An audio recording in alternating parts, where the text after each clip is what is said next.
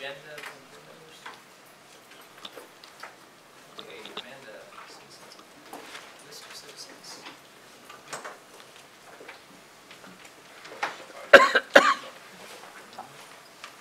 Gonna reach over your shoulder there.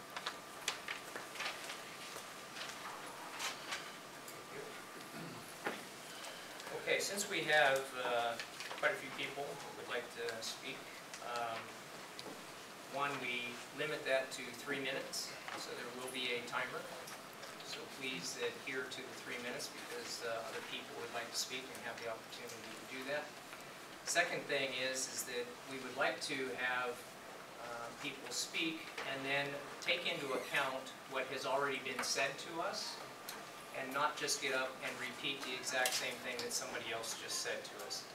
We, uh, we want to make sure that we get a variety information from everybody, opinions and so forth. And so if we're just hearing the same thing over and over again, that's limiting uh, someone else bringing up a different point of view or perspective. So if you keep that in mind by listening to who's ahead of you, uh, if you are repeating what somebody has said ahead of you, please just make note of that and say, I agree with the person uh, that spoke earlier and want to second what they just said, and then we'll move on to the next person. So, okay, everybody get that? So we'll start with uh, Cliff Wooten. Up here? And by the way, uh, we have a call-in board member, so uh, Randy is uh, called in and he's on the screen up here. Hi, Randy. How you doing? Okay, go ahead. Okay, I sent an email out, so I won't go over the email, but just to quickly summarize, uh, the benefits of Linn-Benton. Uh, I started here in 1970 when it was modulars out back. And so I've been here for four generations of my kids, grandkids, and now great-grandkids that are utilizing Linn-Benton's educational uh, opportunities. So I think it's been great. Uh, My comment about uh, the sexual orientation things that may be taking place, uh, there are a lot of, well, there are several area high schools that my kids have come here, uh, and while my kids were farm kids, and and they probably wouldn't be involved with uh, that type of activity, a lot of folks might be, and it might be kind of embarrassing for uh, families and and parents to see the change in adult education or family education to a OSU type of uh, uh, enhancement, I guess, as far as the education. So I guess my comment is, and, and and ending here, so I don't take much of your time, is that imagine yourself watching TV with your four kids, three kids, or grandkids, great, my case, great grandkids, and someone bumps the channel, and this comes on TV. Well, you don't sit there and watch it. You will, no matter who you are, you'll be up, jumping up to change the channel. Got this, something that doesn't really take place in a normal family setting. So my fear is that uh, if you don't have a, if you have a policy, and it's a good policy that's done uh, in a, with decorum, in a separate space, uh, with doors closed, that's okay. But post on those walls for everyone, or put it on monitors around the school, and that's just exaggeration, get me wrong. But that might be uh, going too far and create a negative attitude toward Lynn Benton when you're trying to keep your budgets passed. And I would hate to see Linn-Benton in any way be uh, handicapped from having uh, their budgets approved. I think it's been great. And that's it.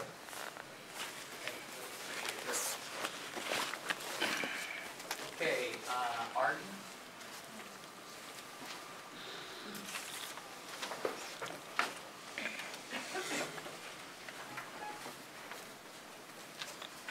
Okay, I'd like to speak to board members today, yes. Can we have everybody uh, say their full name and where they live? Arden Ray, and I live in uh, Corvallis, the Lewisburg area. My granddaughter is a junior at Santiam Christian School, and she's a National Honor Society member, and she's interested in a career in nursing. At present, she's applying to a lot of different colleges, both in and out of Oregon. So uh, for Christmas, I gave her the book Dave Ramsey's Debt for You. Considering taking her first two years at LBCC on account of that. Until today, we were very much in favor of this solution to the problem of financing a college education. What a great way to go. Now we're concerned for her safety if the pornography policy goes forward. We're concerned for the safety of all young women if you proceed. I like the motto, to engage in an education that enables all of us to participate in, contribute to, and benefit from the cultural richness and economic vitality of our communities. And that means young women too. I doubt if female students can benefit if you go forward. As a retired 509J elementary teacher, someone who spent a lot of time preparing your students, I'd like to leave you with my toughest spelling lesson yet.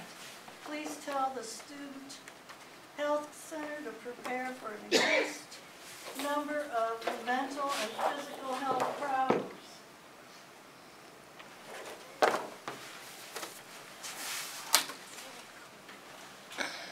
Thank you. All right, uh, Fred Dunlap? My Fred Dunbar, I live here in Albany. Uh, I was in the uh, car business here for pretty nearly 35, 40 years, a long time. A lot of King Albany. A lot of people did, I think. We all did. Anyway, when I came to town, I bought that, it was an existing business. And one of the things that I found when I bought that business, there was a lot of girly pictures rounded out in that facility. And determined that that was just simply not appropriate. You see it in car businesses a lot of the time. Got those folks to take them all out. Um, We had a, a lot of times, a lot of profanity, which I don't use profanity. The whole environment of that place changed because of my character. How you folks leave is how you, what you get. I had eight people that were with me over twenty, four that were with me over twenty-five years of my term. That was because we had a culture of quality. I would hope, and I thought when LB started, that that's what we were developing here. Certainly pornography was not quality in no way. My granddaughter attended here until last term, last quarter. She's now at Oregon State. I, I just don't see the sense of doing what you guys are planning on doing. It just doesn't make any sense to me at all. Um, I guess that's about all I have to say. Thank you. Fred, the man that's on the screen, Randy Camp, operates a business in In my your old dealership. I well know that. Hi, Randy. Okay, uh, Earl Smith? Make mine just agree with those that have already spoke. and, uh, Give you a little bit of background and history to me. I haven't been around as long as this, this first gentleman, but, uh, I graduated here with an associate's degree in machine technology in seventy-seven. Uh, I went on to work at Hewlett Packard for nine years, and, uh, from there, I was one of the owners of Ameritool Industries here in Albany.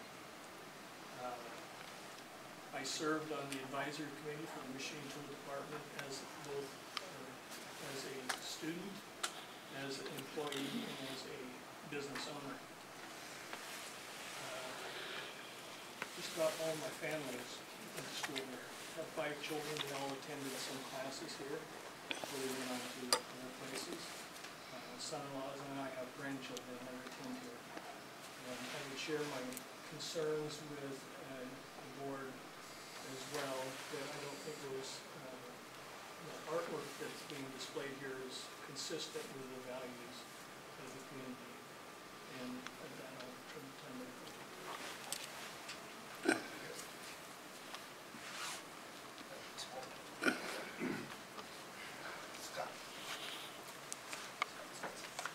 Hi, everybody. My name is Scott Stimson.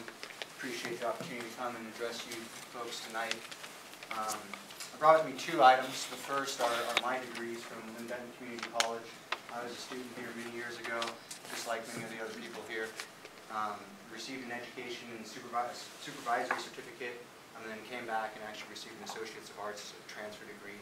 Went to Western Oregon University and then finished up my Executive Leadership MBA from Oregon State University.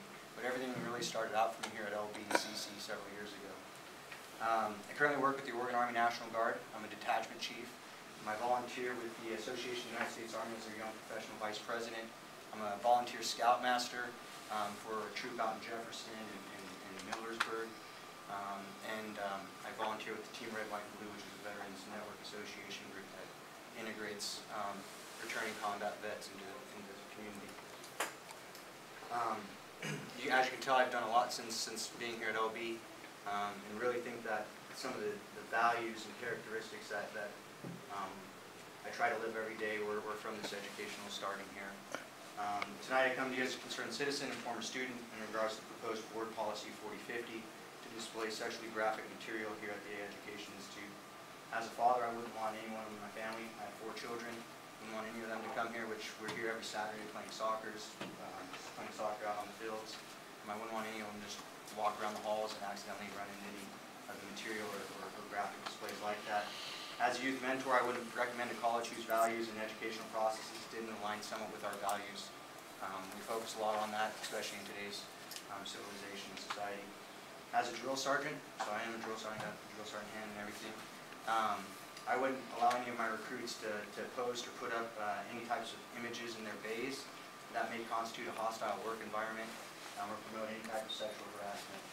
Um, As a leader, I wouldn't want to promote any type of sexual activity or misconduct, and I'd want to consistently send the right type of message, um, especially to today's youth.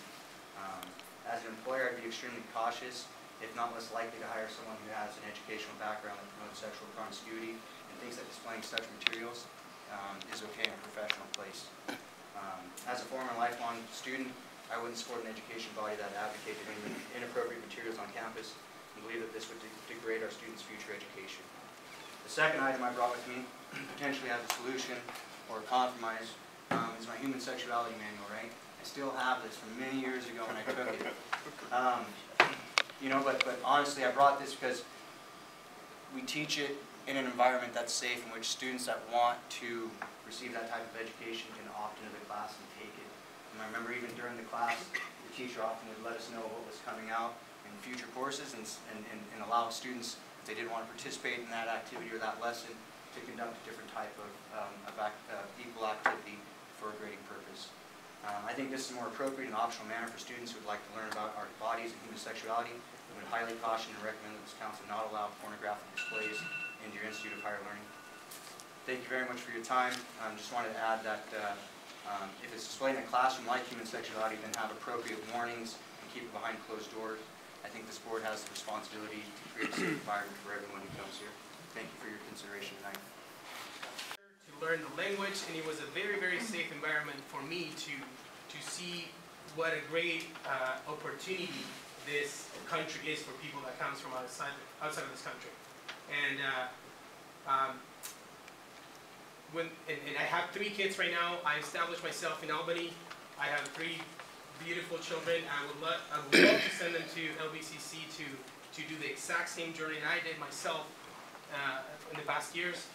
But uh, I would be reluctant to do that if that means that they will be subjected to uh, explicit images and pornography without their consent. Um, That's one part about what, what, what, what the reason I wanted to be here. It's, I would be reluctant to send my kids to any place where there is, there is uh, not appropriate, the, the appro- inappropriate content and, and explicit sexual and, and pornography has been shown in display. And then the second one is that I work in the community right now as a, church leader with a small Hispanic community uh, for, of, of about 80 to 100 people.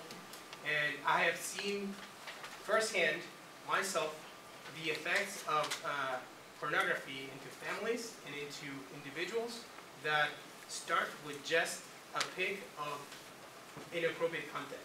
It doesn't start with uh, just going into uh, a, a sexual uh, uh, website and, and, and consuming pornography right away. It starts with very, very subtly, subtle images that get in, that get that get them started to want it more and start to consume more of the sexual content uh, things like pornography. So I've seen that effect, and I've seen how destructive it is, and I do not want, uh, I would not want people to get subjected to this kind of uh, material if it is possible to be avoided. And that's what I wanted to say. and that we don't want to have it. We think it's art, uh, two different views on it. So as you move forward, please say that what it is that you agree with or disagree with, and then we can move on to the next person get okay? Otherwise, we're going to have to cut this off. We're not going to spend the whole night uh, for our board meeting to do this. Okay, uh, James Harley Farm? I'm James, I'm a student here, um, and I live in Albany.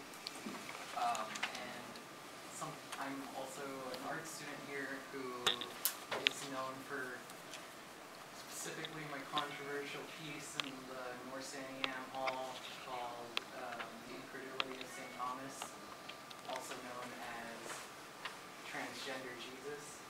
Um, and I feel like one thing that, um, people keep skipping over um, has been the fact that the pieces were of homoerotic artwork, not heteroerotic. I don't know if that has anything to do with it or not, but it somewhat felt like it. Um, and then also just the fact that um,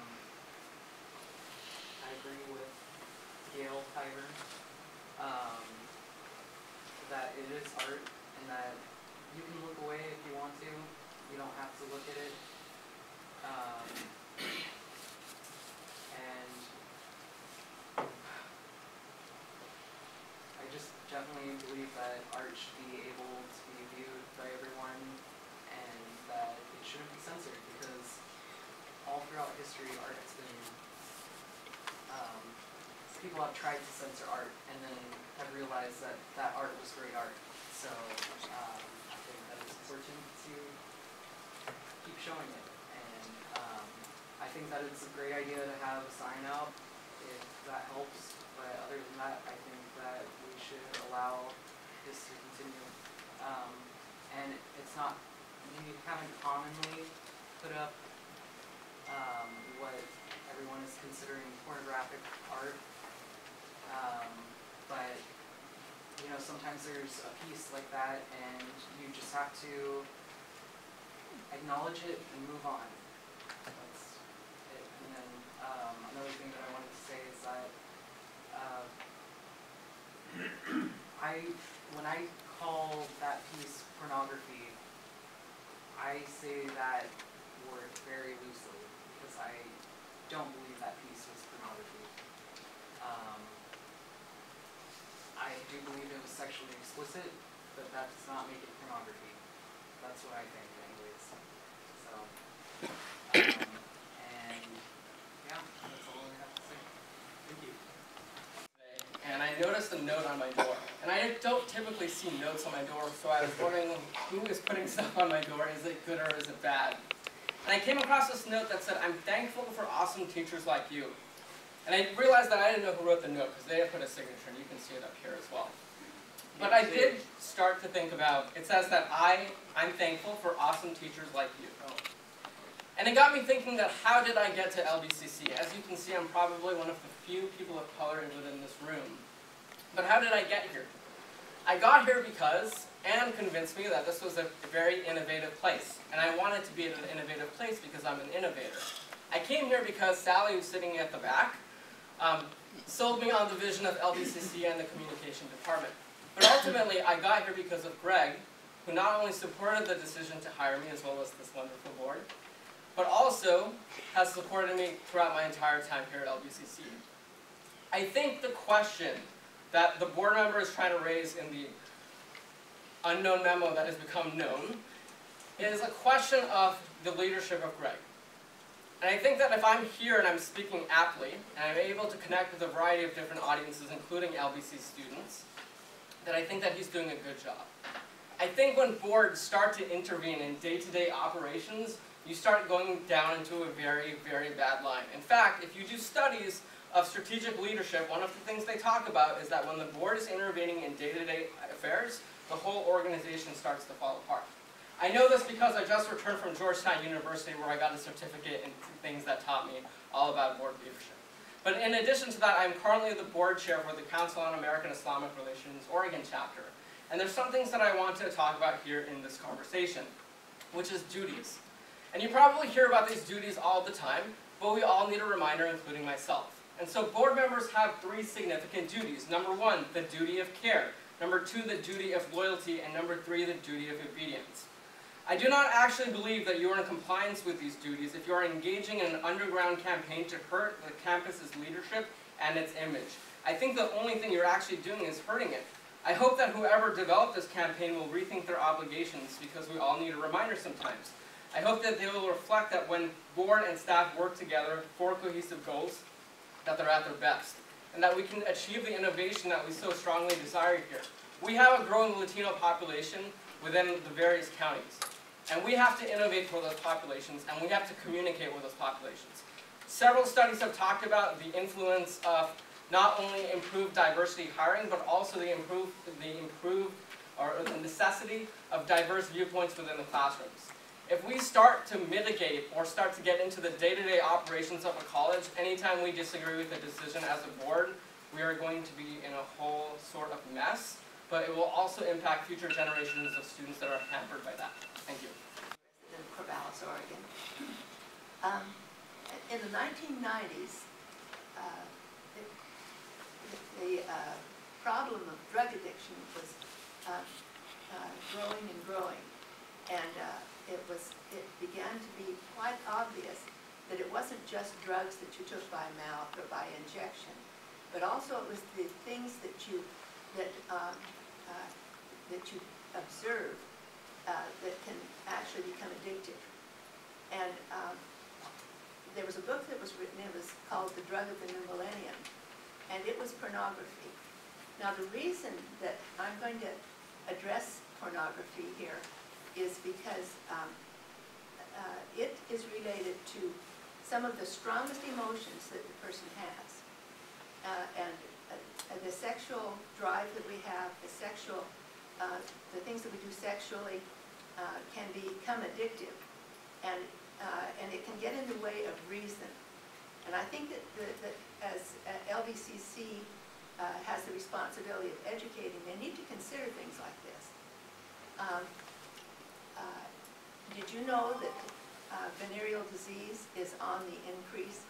It's increasing dramatically now, that it's not just something that just happens to a few people, but uh, chlamydia uh, among both boys and girls is becoming very, very prevalent. And this is something that's not only painful, but it can affect the ability of uh, reproduction if it's not taken care of. I think that would do a great service to the community if they would um, concentrate on teaching the community about how to um, have proper and controlled sex rather than um, having images around that seem to promote the idea that anybody can go out and have fun. Uh, I believe that that's the gist of my message. Thank you. Charles Nelson from Corvallis, Oregon. I do agree with uh, those who have uh, testified here that uh, the policy is not in the best interests of uh, LBCC. I taught uh, LBCC back in the 80s, and I know that every student that I had was highly motivated to learn things that would help them in their lives to be economically more stable and to be able to progress. They wanted to learn those things that would be a benefit to them in their lives. I was chaplain in the 3rd Infantry Division, and that was a great, the greatest problem that we had was, pardon, I'm sorry if I, I don't hear everything that everybody says, but uh, ruined families. It uh, took people away from their mission. It, uh, so it ruined the individual is, uh, is negative. When we separate out some areas, do we say these are for mature people? My eighty years experience says that when we're seeing something that's mature, it's usually pretty juvenile. That it's uh, more on the level teenage dreams and, uh, and lack of, uh, lack of self-control, lack of uh, understanding, lack of responsibility. I, I think that gratuitous sex, wherever it's observed or experienced, is not mature or uplifting. Uh, I really support the mission of LBCC to educate the young people here to be able to better their lives. And I don't see this as part of the mission of LBCC. I think that this is a distraction that ought to be just put in the file and put. And I hope that that will happen. I, uh, as I say, I'm a great supporter of LBCC. I want it to be a great institution. Things. Um, first of all, why academic freedom is essential to the values that we espouse as a, as a college. And secondly, some, some information about the history of this particular board policy. Um, I, my name's Jane Sandberg. I'm, uh, I live in Corvallis and I'm a librarian here. And as a librarian, I am guided by the American Library Association's Library Bill of Rights, which, um, which states that libraries should challenge censorship in the fulfillment of their responsibility to provide information and enlightenment. So that probably gives you a clue on which side of this, this question that I fall on. Um, I do support the minor revisions to the board policy on academic freedom and responsibility that you have before you today. Um, and I think that academic freedom is key to upholding the values of this institution.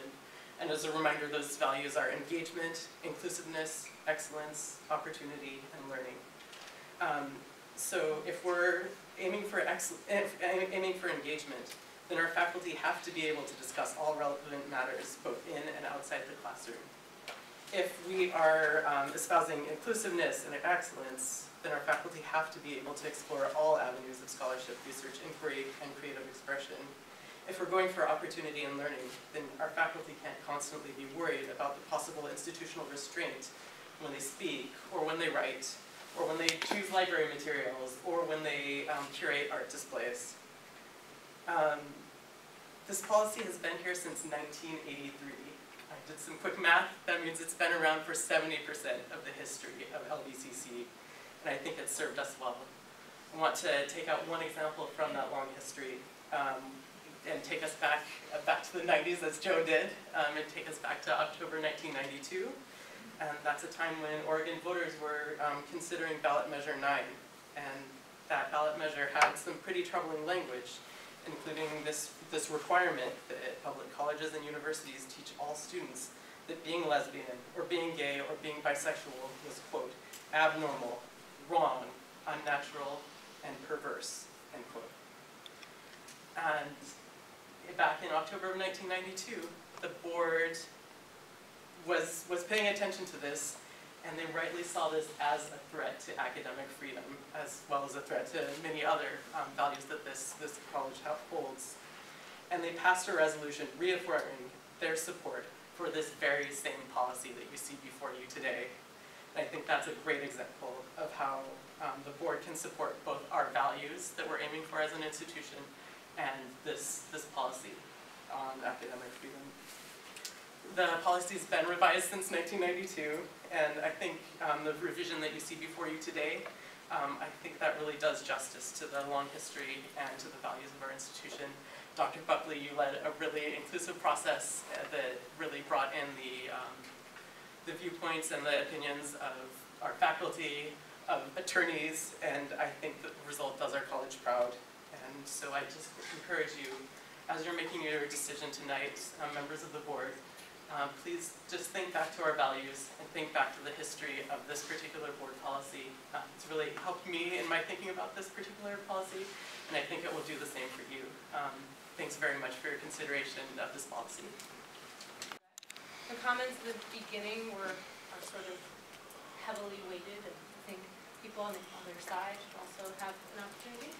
Um, I'm a current student at LBCC. It has come to my attention that my academic freedom and creative expression are being threatened. The art show exhibiting artwork by Andrew Douglas Campbell was a very important moment for this college. It was an opportunity for growth. After reading a letter by board member Keith Frome, it may become a staging ground for moral judgment that results in direct censorship of the students that this college serves. Um, there was a list of comments that he asked uh, people uh, who support his viewpoint um, to speak about tonight, so I'm going to speak about them too, because that's my right. He spoke about the loss of freedom for those who do not wish to be exposed to these images. How do these people know they don't want to be exposed to the images if they never see it? Choosing what people see creates a loss of freedom by taking away their opportunity to judge on their.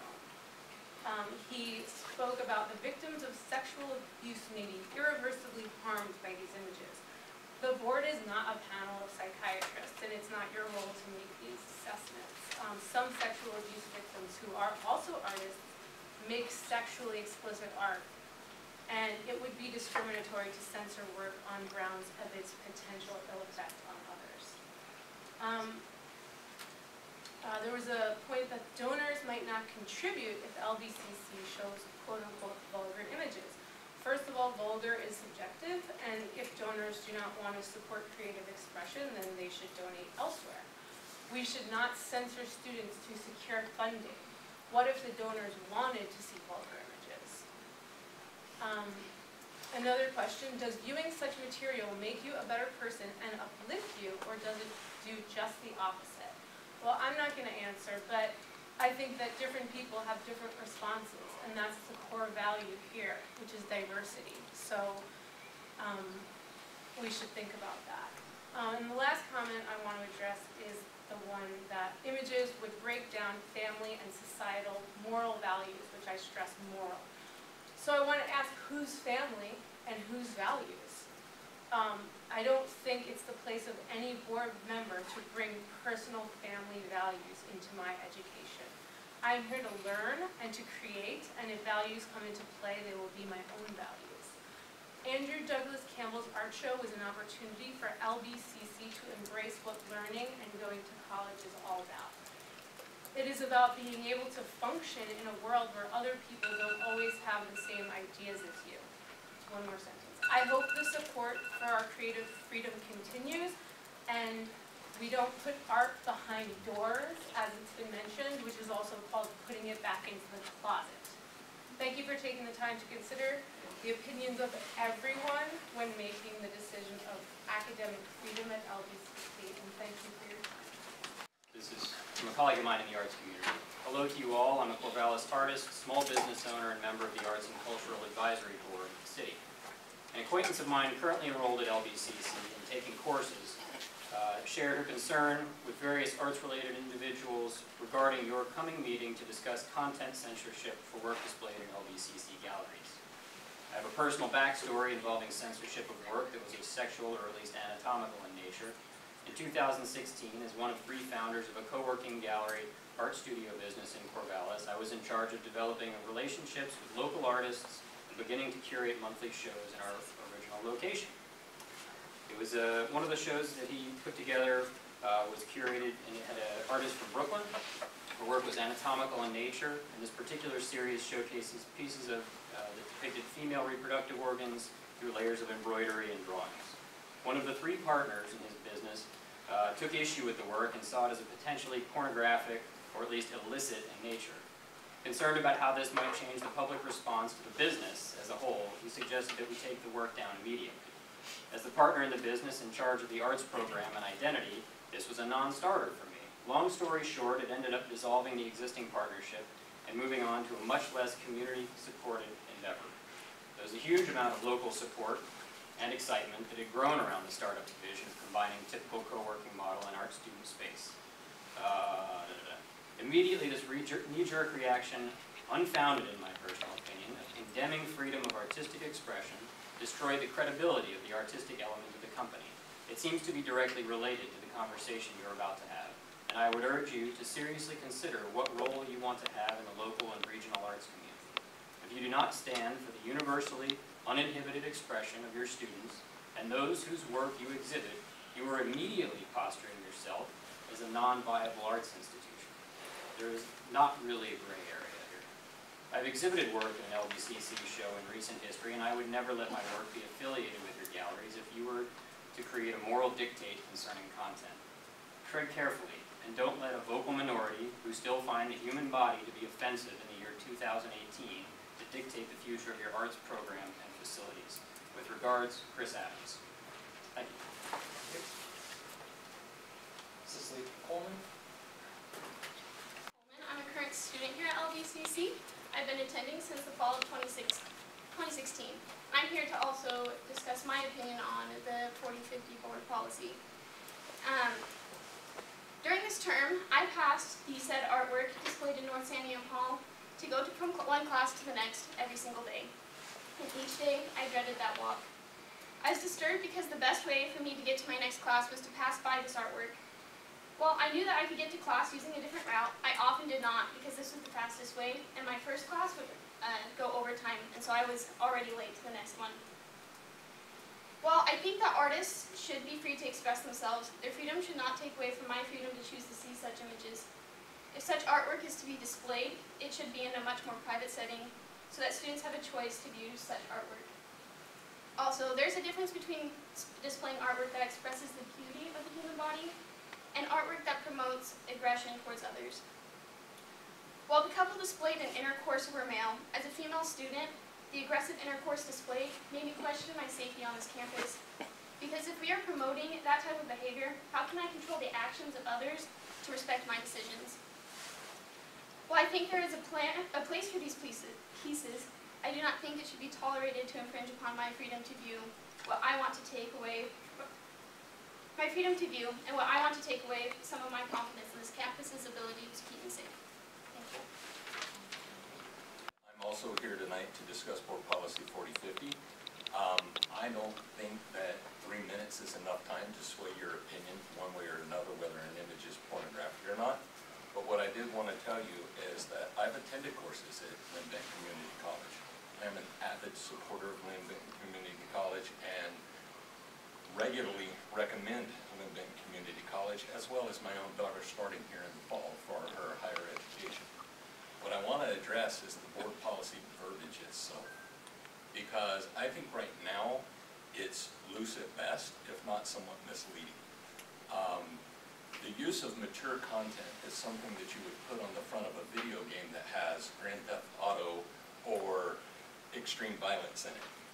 Um, Again, I'm not going to debate whether an image is or isn't pornographic. What I want to do is to suggest that to depict clearly sexually explicit images in an open thoroughfare where students are required to go to attend classes is not an appropriate way to go. I think we need to have areas, because I was a veteran, I am a veteran. I spent ten years of my life supporting the Constitution and the rights and the freedoms of American citizens. I believe in expression. Academic expression has been part of academia for centuries um, educational nudity and artistic nudity have actually been part of education for centuries. So my argument is not whether that is appropriate on a college campus, but my concern is that you have children under the age of 18, minors that traverse these halls on a regular basis. I've been over here with them. I, I go up and down these halls on a regular basis. I come over here to check on financial stuff with my daughter. My daughter's going to be attending college here. So what I would suggest to you is that you consider the verbiage that is in this policy and put something in there that requires a requirement to state, not mature content, not that this is academic expression. Those can be included in the verbiage, but what I would suggest is that you actually put language that states, In these halls, you may see images that clearly depict sexually explicit material, because that is what is in the images, and that is possibly what could be in a course. So in a classroom where that is the content of the class, the student can make their decisions whether they want to attend their class. They can speak with their parents as to whether this is a class for them to attend or not. But to have it in a public thoroughfare where faculty and students walk up and down this, sometimes unbeknownst, okay? So maybe there's multiple entrances or exits to the, to the hallways or the thoroughfares where the students are gonna be going. Well, the first time I go down that, I don't have that choice before I've seen it. So all I'm asking for you is to carefully consider the verbiage that is in the policy and write it in such a fashion that is clearly stated. Thank you. I'm a local community member and business professional residing here in Albany.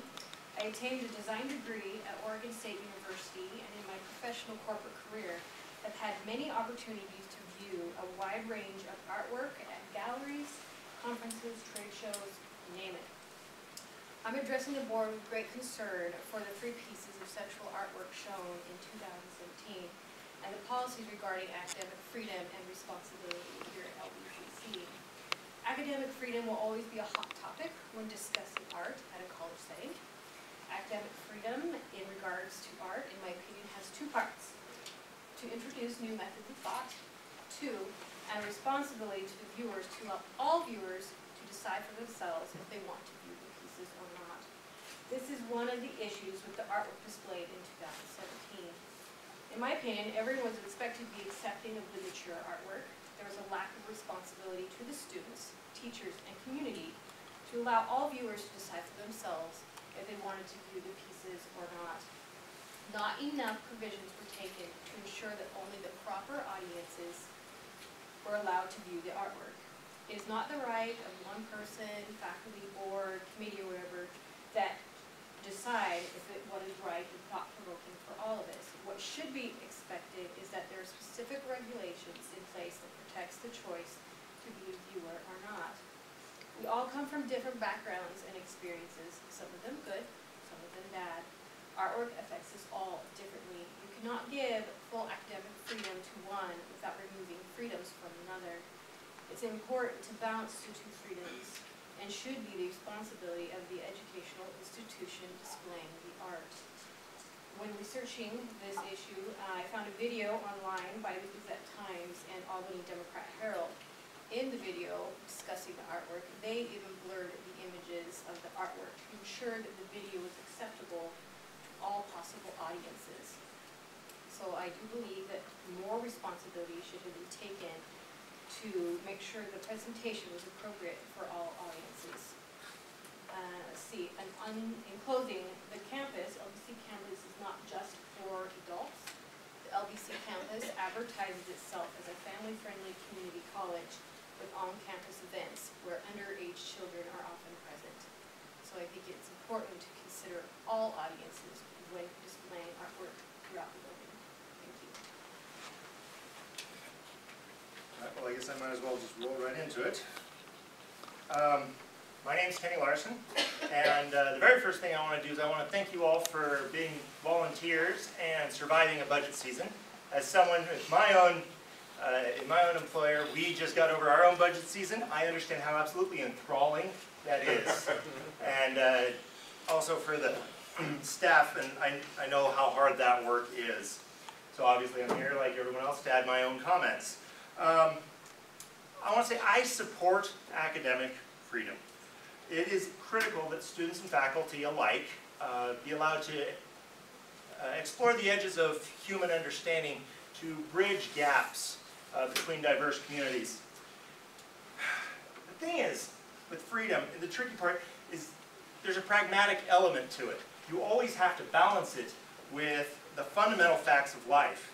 In fact, the world, the best leaders in the world, the best leadership in the world, understands that purely ideological governance is not only extreme, but also extremely counterproductive.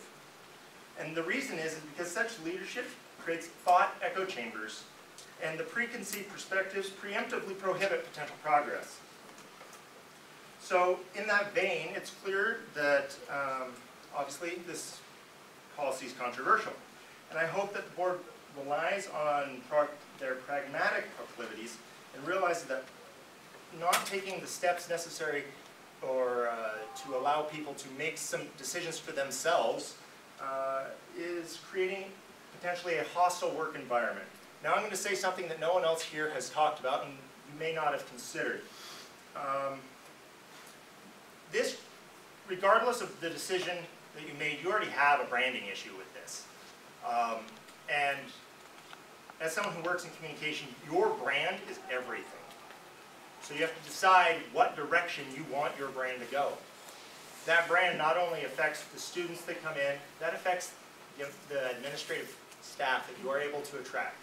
I don't know if you're experiencing the same situation that we're experiencing, but the hiring market is incredibly tight right now, and we're having difficulty filling critical key positions. If you have, a, the other thing also is, as a hiring entity, frankly, LB is small fry. 25 miles from here, you have 20, more than 20,000 people commuting into Salem to work in public sector jobs. They don't have to work here. So you have to, you are competing from a hiring per- perspective for those jobs. Um, so, you don't want a reputation of bombast that's indifferent to very real sensitivities that make you potentially less competitive. So,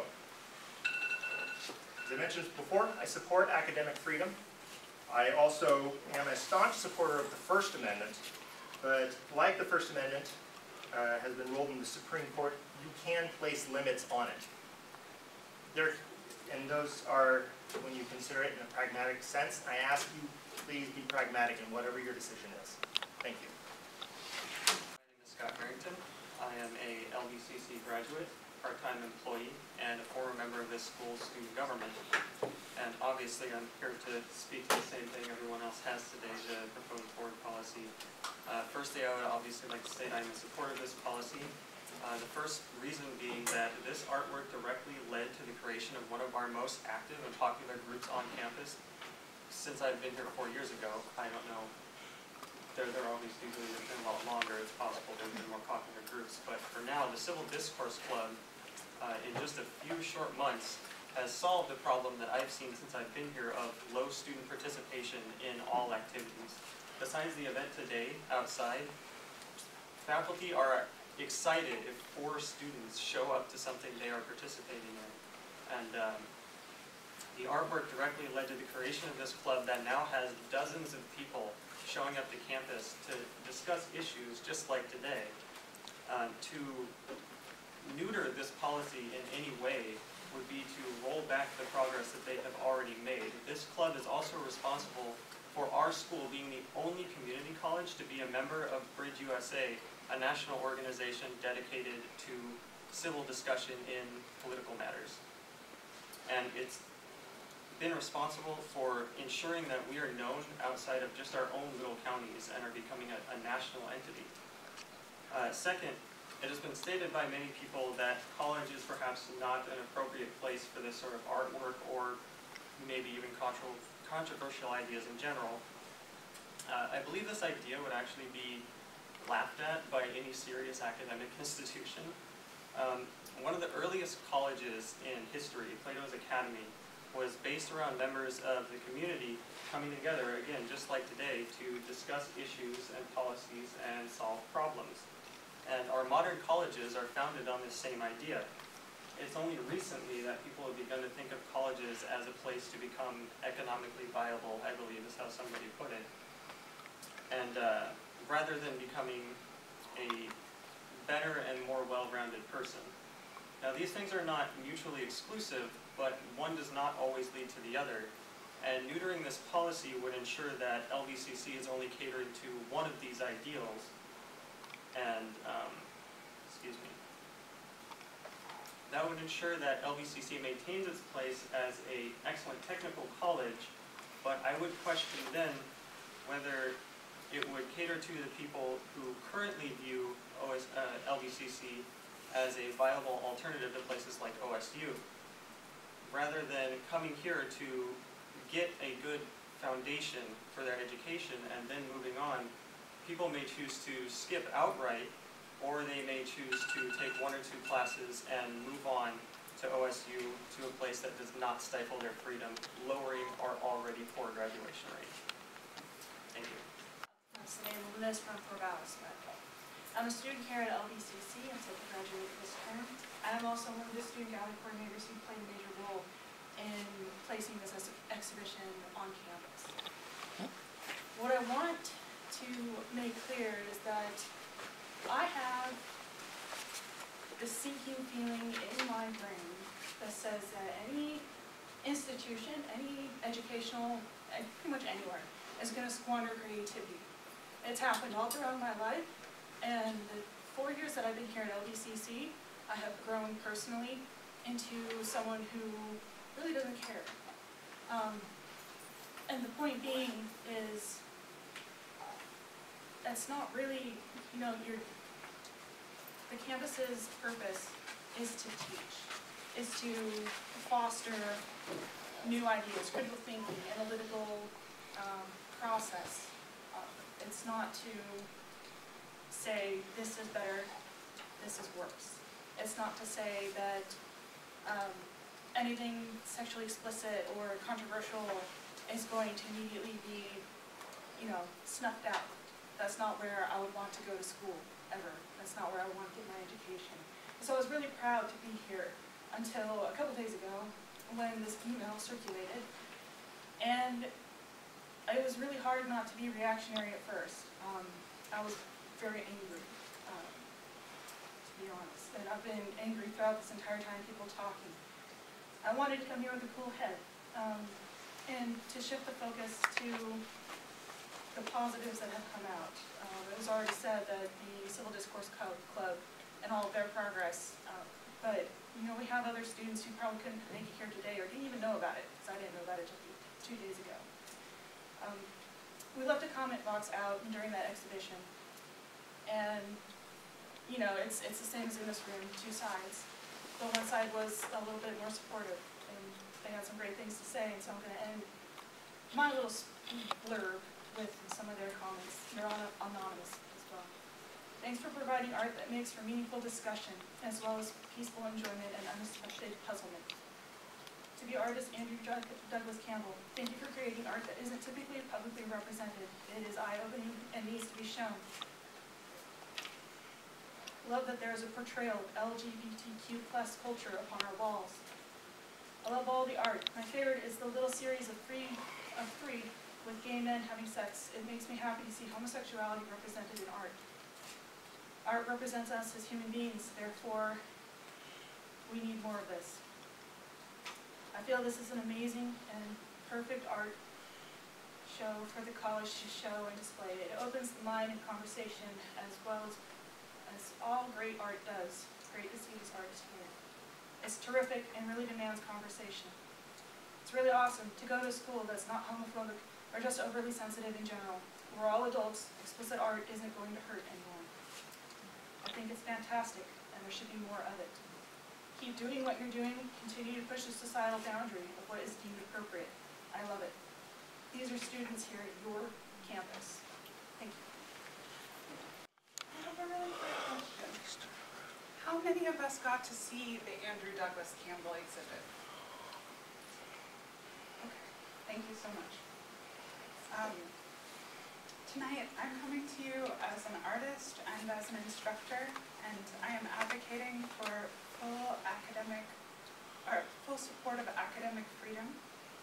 Um, Here on this campus, students undertake the study of art, and in that moment, they're joining academic freedom with artistic freedom. And it's my belief that I couldn't tell a poet what to write or a scientist what to research, and similarly, I cannot tell an artist what to make their work about. Um, art has the ability to address the most joyful and also the most distressing parts of our human experience. And I can tell you from the perspective of a faculty member, it's not always easy to view these things. I have students come to me um, with work expressing their experience with sexual assault or grief or discrimination. And yet, it's not the fault of the artwork. or even the artist, right? It is my personal reaction and their personal reaction to larger forces that are in the world. I believe that we engage in an act of censorship by removing art, by isolating it, or by stigmatizing it with content label, labels, specifically calling something controversial. To posit an artwork as controversial is to assume that there is one definition of what is agreeable, what is right, and what is just or moral. I think that it's up to our students to have the ability to, to, uh, time to think critically about what they see, just like what they read and what they write. Art is just a form of visual information. Disagreement is at the heart of cultural richness and inclusion because it does not efface difference. We need a policy that will empower our students to understand their own views as they are informed by art, culture, religion, history, and so many nuanced factors. All students, but particularly the LGBTQI students, deserve to study in an environment which does not debase or censor them because of their identity. They deserve to see examples of an artist who falls outside the traditional and supported canon of straight white men, and to learn at a college that upholds academic freedom without prejudice or discrimination. I urge you to uphold our academic freedom as it stands, and I thank you for your time. in government and I'll be VP for next year also. Um, and I'll, and I live in Lebanon. Um, the thing that I want to talk about is the artwork. Um, so how do you want an artist to be creative if you're blocking them from their success to improve themselves and improve their artwork? LBCC is a place for opportunity to grow as a person and as a person and as a student. This is a place for us to ex explore our thoughts, our beliefs, and everything that we own ourselves.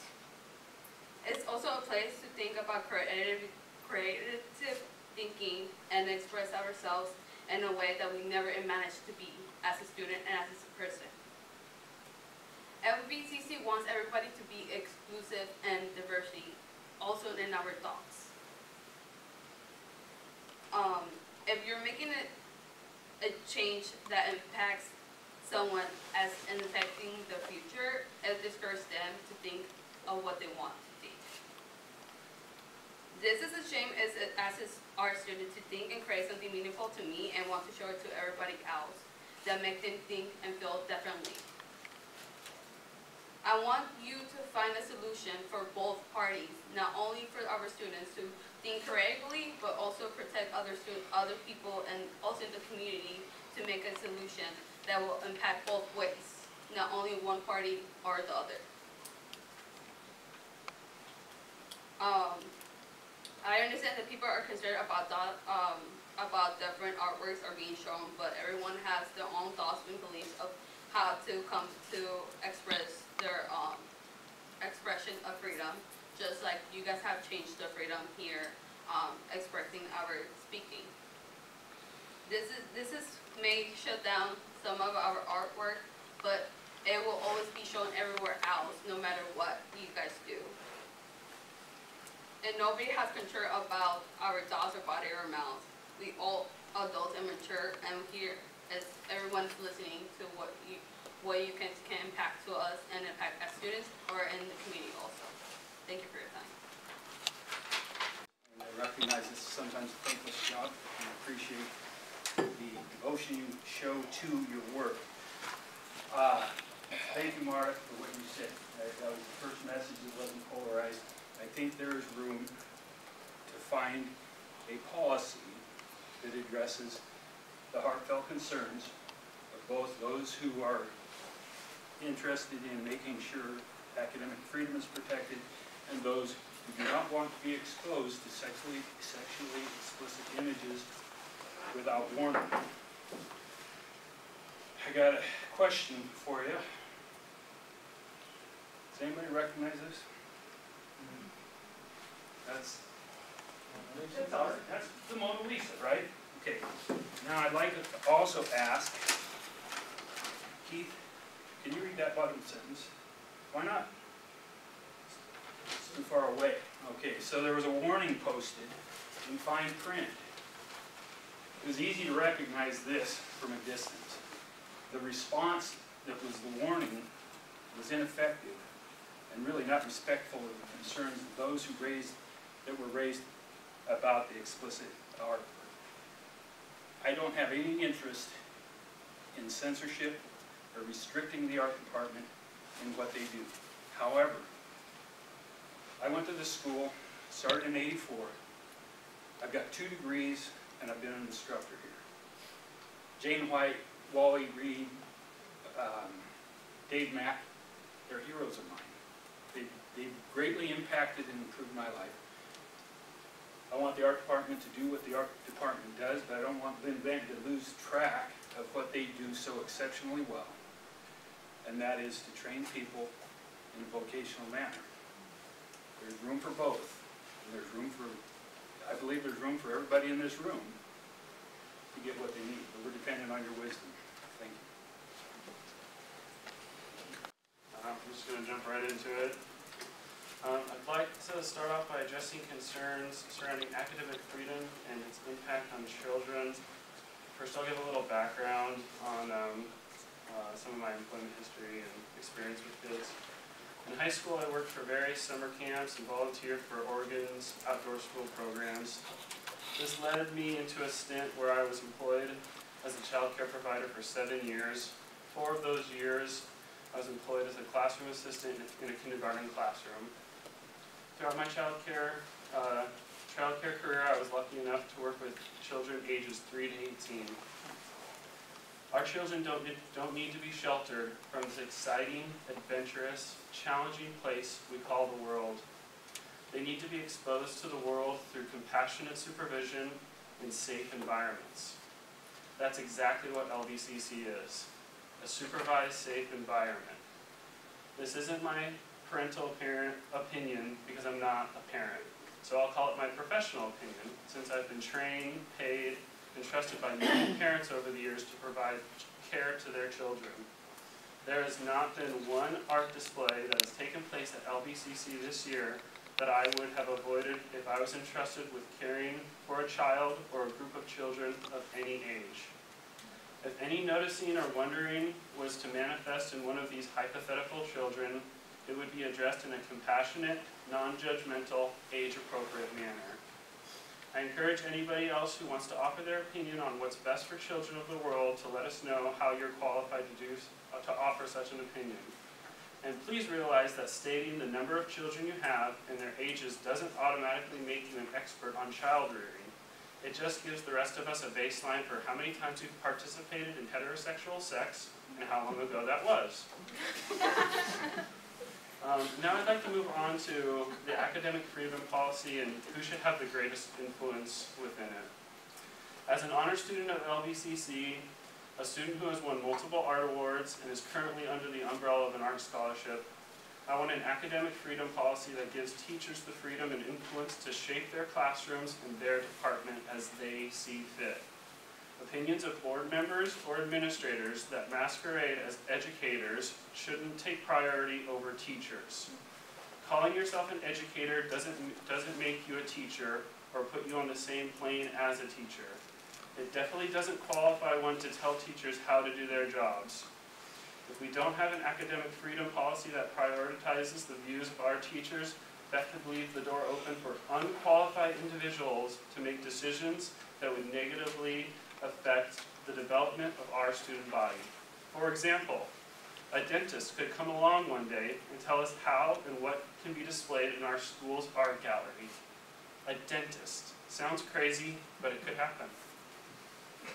LBCC needs non-student work to be displayed around campus and in the galleries. Viewing artwork is critical to the development of our student artists. It allows our students the opportunity to broaden their conceptual and formal scopes, offering inspiration that is so very important in the process of creating new art. Our art teachers possess the deepest understanding of this. Not board members, not administrators. We need, academic, we need an academic freedom policy that puts teachers at the forefront of our decision making. be here. And again, I would like to give my thanks for the work that you all do. I hope that none of you um, are thin-skinned enough to believe that those of us who are coming here today that are opposed to this particular amendment um, are attacking personally. That's not the case, not at all. We all have different opinions in this world, we all have different views. And right now, it appears to some of us that our choice of freedom is being taken away. And I'm here to be able to discuss that. Um, it seemed like we were challenged a little bit by someone who wanted to know if we had the educational knowledge to say what we say. So let me give you my background. I did two years here at Linn-Benton Community College. I was an employee here. I did photography work for the school. I did public relations photography, so I can look back in your history of your yearbooks and see some of the work and artwork that I did. So I have a little bit of an artistic flair to me. I also went on and did a Bachelor of Science degree from University of Oregon, go Ducks. I went from there to Oregon State and got my master's degree, go Beavers. In that position, I took two additional courses, two minor degrees and one in psychology. So I do feel I have a background to speak on the psychological aspects of this. I went on and did a doctorate degree at the University of Florida School of Medicine. I went on further and did a doctoral program in holistic medicine and homeopathic medicine. And I haven't stopped. Somebody talked, I think it was Ann talked about, um, she wouldn't direct a scientist. Well, I'm a scientist. I'm working on trying to, with a number of researchers across the world, to find ways for our bodies to live longer, healthier, to rid diseases. That's coming from somebody that's been two years here. That's where my birth. So I'm here because I sent my son here from high school to come and do a couple years of, of coursework while he was still in high school. My daughter came here, followed my footsteps, and did photography work for the school newspaper here as well. I saw my neighbor the other day, her daughter's gradu- or their daughter's graduating from high school this year and wants to come here and spend two years. This is a great launching place for great education. And, and we heard a number of us testify that we received a start of our great education here. And now here we are arguing over whether I have the right to tell you that I don't want to see this kind of stuff in the hallway. I don't think that's unreasonable. I think it's unreasonable if I came here and told you, you will not have coursework that teaches this kind of stuff. That would be unreasonable.